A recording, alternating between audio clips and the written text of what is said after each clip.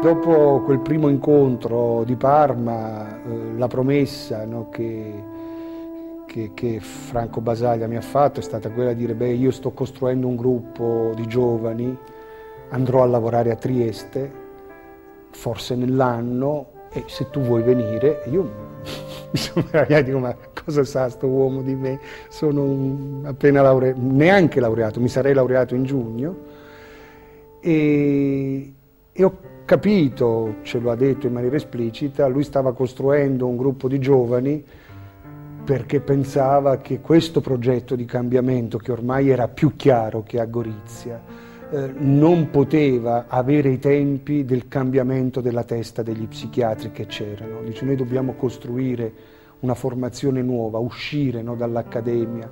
Io venivo dall'università, mi ero appena laureata. Uh, certo ho trovato una situazione in cui non era facile eh, trovare un proprio ruolo e capire che cosa fare e anche capire cosa si faceva. Era l'inizio della trasformazione del manicomio e si viveva quello che poi tante volte Franco Basaglia ha chiamato eh, la fase della, della distruzione. Noi cercavamo di eliminare ciò che impediva l'incontro. La prima operazione che, che Basaglia ha fatto qui e, e, lì ho cominciato a capire che cosa era no? questa, questa, questa, storia, è stata la, l'apertura delle porte, no? le porte aperte. Già a Gorizia era accaduto questo, no? la comunità terapeutica. Qui si, si, riproponeva e si riproponeva con altri obiettivi, le porte aperte, gli oggetti personali che venivano restituiti eh, agli internati, la possibilità di muoversi e di articolare dei primi frammenti no, di vita sociale. Si faceva insomma tutto un lavoro che era insieme pratico, cioè che serviva per cambiare le cose, ma serviva anche per cambiare le teste, perché l'unico modo per poter iniziare su questo, mm, direi che se, devo, se c'è una cosa sulla, che caratterizza Franco Basaglia, eh, ciò che lui ha fatto, il suo modo di muoversi, era proprio l'idea che noi stavamo iniziando una ricerca, che questa anzi era in qualche misura la premessa della ricerca e che non si poteva dire nulla su eh, sulla follia, sulla cura, sulla guarigione, ma eh, se non si costituivano delle condizioni diverse nel rapporto con ciò che doveva essere capito. Poi c'è anche con lui Gennaro Imperatore, che è l'altro che anche lui eh, sarà di quelli che guideranno l'aereo.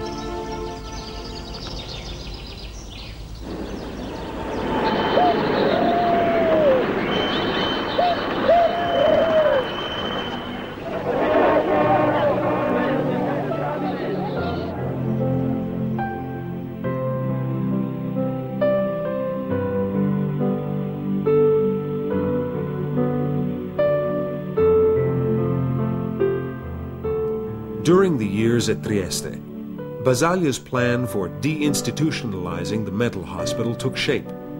The idea was to devise a network of community mental health services that could enable society to do away with mental hospitals and to cut its culture off at the roots. This meant giving form to what Basaglia in 1973 called a utopia of reality. Not, as he says, an abstract utopia, reflecting the ideology of its advocates and leaving reality unchanged.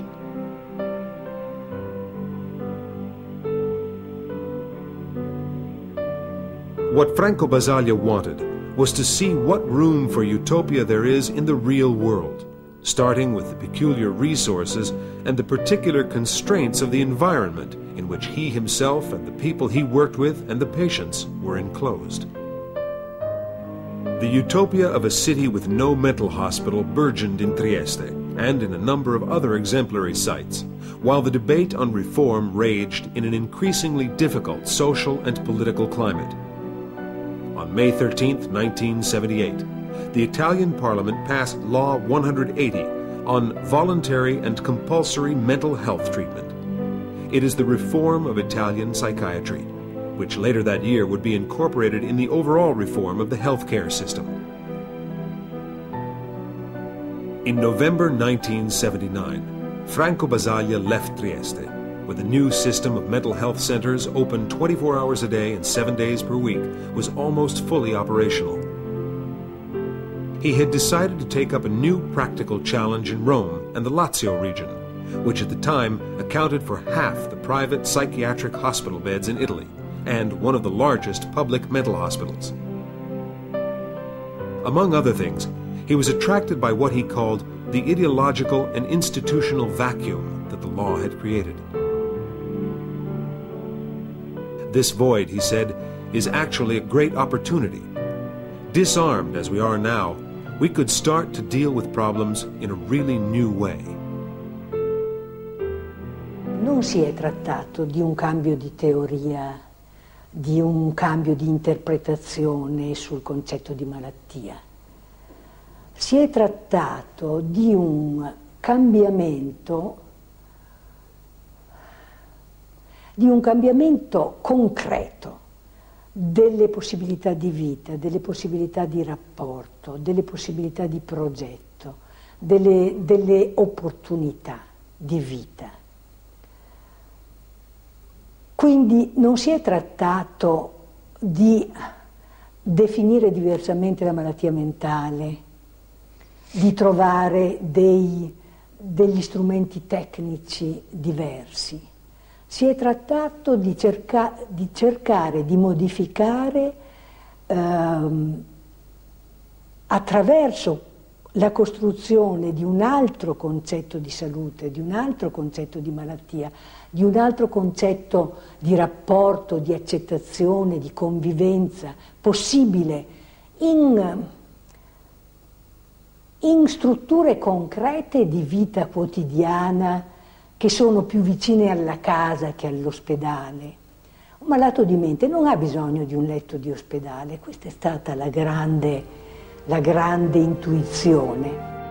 Le malattie mentali sono oggi finalmente oggetto di studio e desidero prima di tutto dire mio, la mia ammirazione per il fondatore Franco Basaglia, mancato nel 1980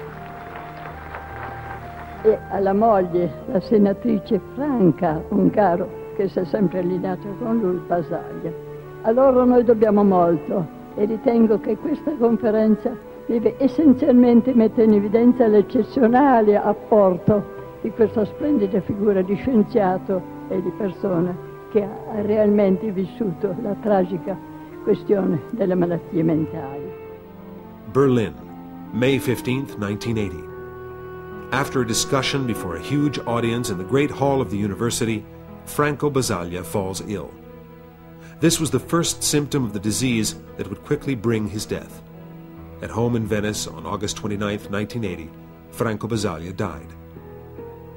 A year earlier, in Rio de Janeiro, on June 28, 1979, he had been asked what the meaning of his work was. He answered, you see, the main thing is that we have shown that the impossible can become possible.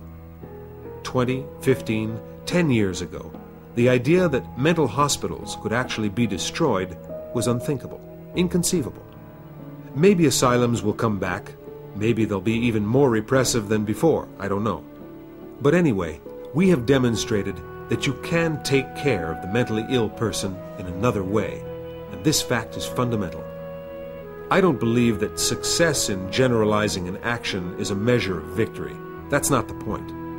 The real point is that now we know what can be done.